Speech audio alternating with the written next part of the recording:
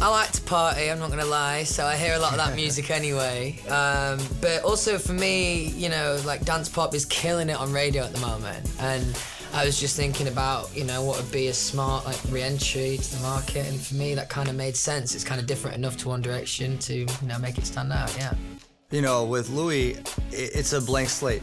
You know, we when we got together, we're like, okay, here's like an existing idea, or like here's a EDM structured song arrangement with drop and everything.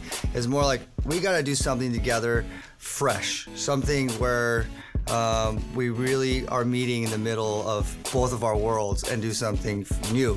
And I mean, we're like on this record, on this song, I haven't been so hands on with another collaborator. I mean, every step of the way, um, we're involved in every you know piece of the puzzle, the music, the composition, the lyrics, the melodies.